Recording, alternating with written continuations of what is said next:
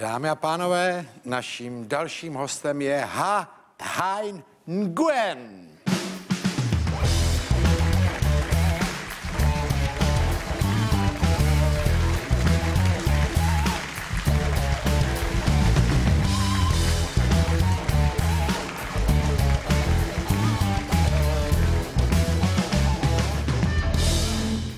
Dobrý večer. Dobrý večer. Řekl jsem to jméno správně? Já věděla, že se na tom zadrhnem. Hat Hein Nguyen. Ha, no, ale jo. Hataň. Hein. Hataň. Hat Hein. Hataň. Hat Hein. Jo. Dobrý. Ne, ne, to ne. to ne. To je takový to. Seš neléčitelný blbec, takže dobrý. Ne. Tak co tam je za chybu? To no nebo co? No, vyslovíte to jako... Já nevím, jak to... Hat Hai? Jakoby hatajn g, ale neřeknete na konci g. To je taky jako dostracená. Hatajn. No teď já říkám Hat Hai. Hm? Hat Hai? Jo, teď já vám říkám... Ne! já chci, abyste byla úplně spokojená. Tohle furt děláte, no dobrý, jako. Vy, vy už jste jak ženská, která jako, jako když chlap chce pochválit, tak to nikdy není dobře. Jak to? No to jsou nějaký větnamský zvyky asi. Hat Hein Nguyen. Ano.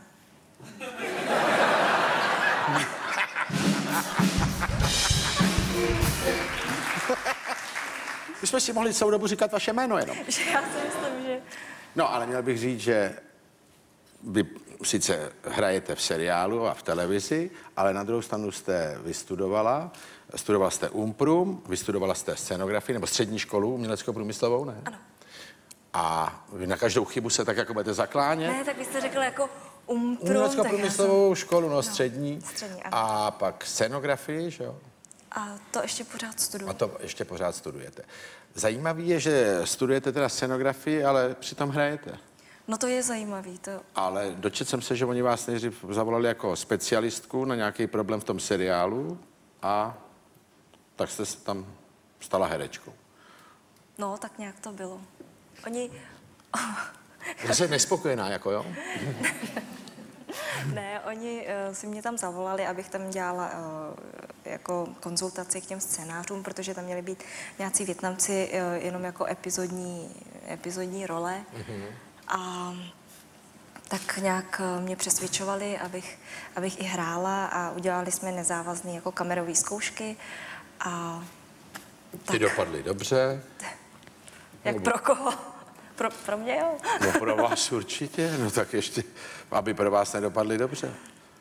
No a vlastně tak se eh, stalo teda, že v tom hrajete, ale eh, koncipujete si to teda, že byste v tom pokračovala, že byste byla takovou první větnamsko-českou herečkou nebo česko-větnamskou? Já si myslím, že nejsem první, ne? No Už tady byly nějaký... To jo, ale že byste byla taková třeba jako významná herečka. Jo, a to se pozná jak. No, že hrajete velký role často. Tak já hraju jenom jednu roli. No, no právě proto se ptám, jestli koncipujete, jste taková vzpupná, že? Já vždycky jsem se učil, jak ty ženy z Ázie jsou takový pokorný. Jsem čet nějaký kraviny asi, že? Gejši a takový, a nebo jsem si buď kupoval blbou literaturu, nebo jsem to blbě chápal. Že jo? No ne, tak vy jste tady, vy jste tady od kolika let? Od pěti? Pěti let. Od pěti. No, Vlastně, než já jsem... jsem se tady něčemu přiučila asi. Jo, takže už jste hodně místní. Prosím vás, a pak je jedna věc, to mě leta tíží, ale jsem proto rád, že jste přišla. Ano. Eh, Třeba máme takovou teorii, já třeba mám problém u vás, ne, protože vy jste výjimečně krásná, čili vás si člověk nezapamatuje, ale někdy se mi eh, ty azijský eh, rasy jako slejvají, že já nejsem schopný to dobře rozlišit. Třeba když se dívám na film, tak říkám, to je ten bratr nebo ta sestra. Jo. Jako má s tím problém. Jsou mě tak jako stejný mm-hmm. a teď na mě všichni řvou, seš blbej, to je ten bratr. A pak se ukáže, že on si to ale taky plete. Mm-hmm. A do toho mě vždycky někdo říká, ale oni si nás taky takhle pletou. Je to tak? Ale třeba mm, já to tak vůbec nevnímám, jo, protože já už jsem samozřejmě se s tím jako, ano, ano. Ale uh, nedávno mi přijela sestřinka, která, eh, no z Větnamu, takhle byla tady jenom eh, chviličku a říkala, Oni mají všichni nějaký jako vysoký stejný nosy, velký oči. Já vůbec nevím, jako jakých rysů se mám chytat. Taky? No, Tak u mě by se snad chytla, ne? ale tak já myslím,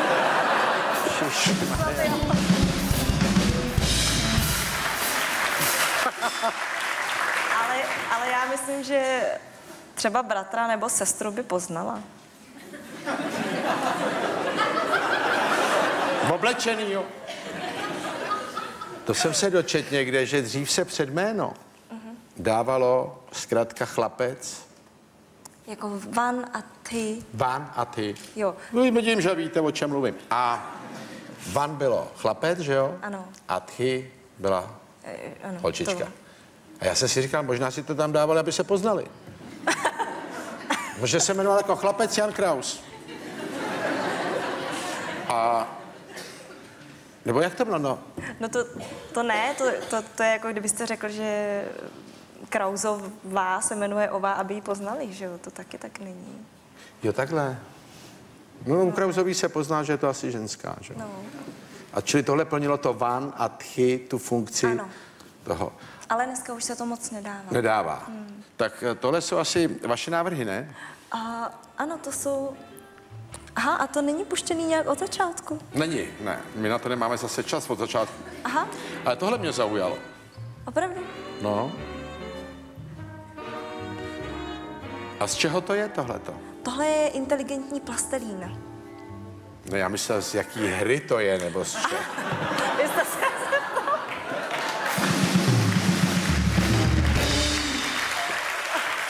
Jako, Já se omlouvám, já. Ne, to se neomlouvejte, prostě se mě zatím nepovedlo vám být rovnocenným partnerem. A kdykoliv se vás zeptám, tak mě vysvětlíte, co je satelit a že tohle je plastelín. Já vám děkuju, pojedu domů bohatší dneska. Mě zaujalo, že on si to otevře a má tam srdce, tak jsem si říkal, eh, co jste tím mm, chtěla vyjádřit a vy se mnou mluvíte jako s blbem, který ho zajímá. Nebo- Formela, že jo? Nebuďte hned tak vztahovačný. Já nejsem vztahovačný, jste řekla, to je inteligentní plastelín. Zatímco ty si kreté. No.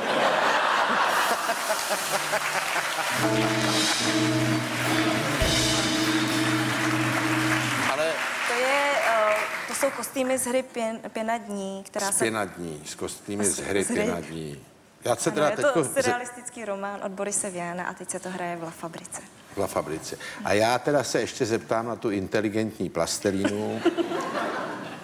Čím je jako inteligentní? No, ona... Uh, oni jsou různý druhy. Aha, díky.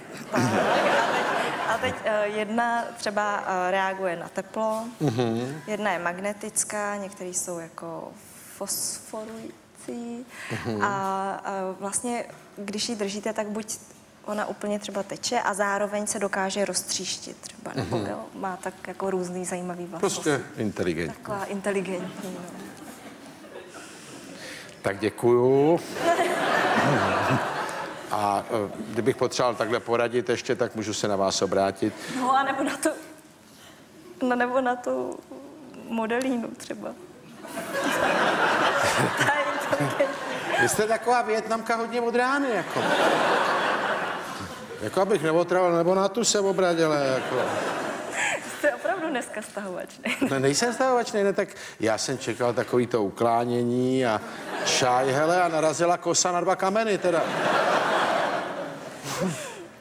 Eh, jak je to, prosím vás, třeba taková fikce jenom, ale když pak si najdete přítele, tak vy budete chtít jako uh, některé ty zvyky vaše nebo tradice s ním dodržovat? Já jsem teď jenom, když si najdete přítele, dál. Jo, takhle.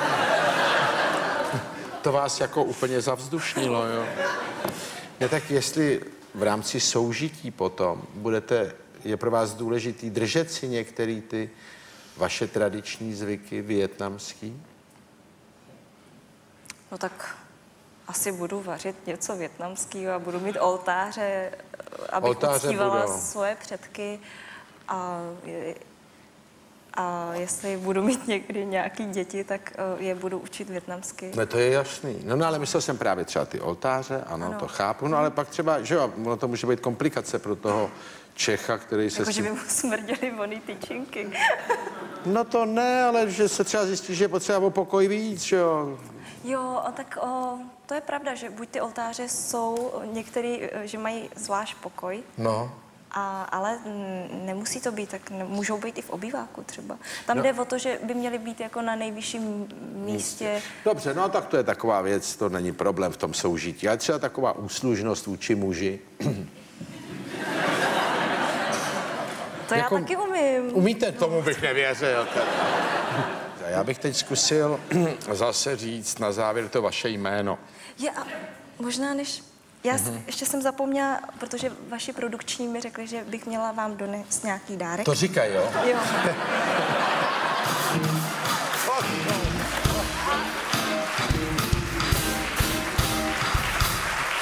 Ale Jak do toho to jste měla hrát, poslat na to... účet.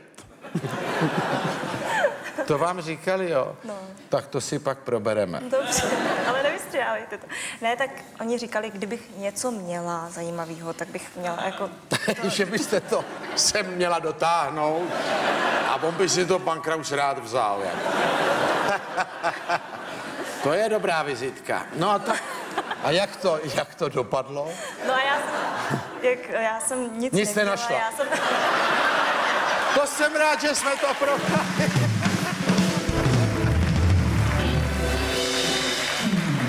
Děkuju. jsem říkala, že donesu, pokud mě něco jako cvenkne uh, o nos, jak by řekla Libuška. A Bez cvrnklo. cvrnko právě. Já jsem si včera, to byla taková jako uh, historka, jsem si chystala šaty sem a jenom Ano. jsem si tak položila na zem. A před týdnem jsem si vystřihla hlavu Arnolda Schwarzeneggera. Ano, začíná to vypadat slibně. A teď, Pardon, to jste si vystřihovala jenom tak odpoledne, že jste měla volno? No já jsem měla dělat návrh na jednoho Nebo superhrdinu. tak já pracovně, jsem, aha. ano, pracovně, jak jsem chtěla jeho obličej. Ano, ano, jo, tak je to možné. dává logiku. Jde to. A teď jsem tam hrabala v těch věcech a najednou mi ta eh, Arnold spadl. Ano. A teď já jsem čtvrt hodiny ho hledala, kde je. A Počkejte, jsem ho jak to- nemohla najít, protože to opravdu úplnou náhodou mi spadlo, ta jeho hlava přesně, no vy to možná vzadu nevidíte, ale já tady mám takhle tři andílky. A on mi spadla ta hlava přímo na jedno z těch andílků. A úplně to za- zapadlo. Jako. Tak já jsem říkala, Počkejte, kam vám spadnul za andílky? No tady máte ty hlavy andílků, No to vidíte? vidím, no. A jedna z těch hlav, potom jsem si všimla, že je Arno. No a tak já jsem vám vyrobila narychlo takhle. Jo, takhle. A to je taky andílek, takhle. Ano, A myslím si, že není lepšího strážního anděla, než, Než- právě Arnold než je Schwarzenegger. Arno. Takže to máte takhle. Tak to jste hodný.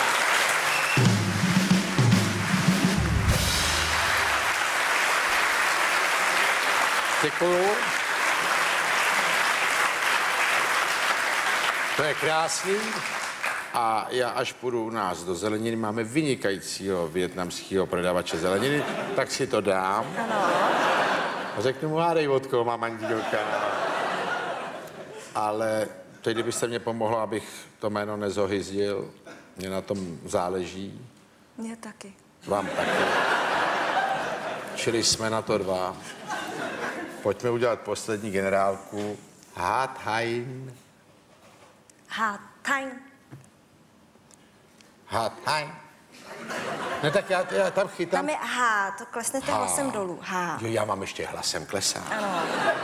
A time mírně nahoru. Hatheim. Takže s choreografií. H. time. Hatheim. A to no ne, jo? Hatheim. Ne, no, to už. Jsem vás konečně rozesmál? Já se směju celou dobu. Ne, ale tak jak to? H. To H nebudeme řešit, to umím. Dobře. Thai? Time. Thai. Takže mám říct Thai. Ha, Thai. Ano. A pak jen Nguyen. A Nguyen, I, I to chcete? Nguyen nebo Nguyenová? Já s, už jsem Nguyenová. S Vy tím, jak jste jsem... Mhm. Nguyenová? To bude ještě těžší. Ale tak já to zkusím. Ha, Thai Nguyenová.